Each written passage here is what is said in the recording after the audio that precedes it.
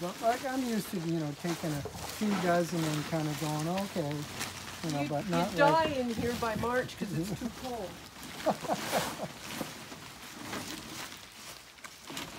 isn't that something? There you go. So this is mainly common milkweed. There is some butterfly weed in here. There I isn't. think. Nope. Well, I thought I saw some Unless pretty small pods. it. Okay.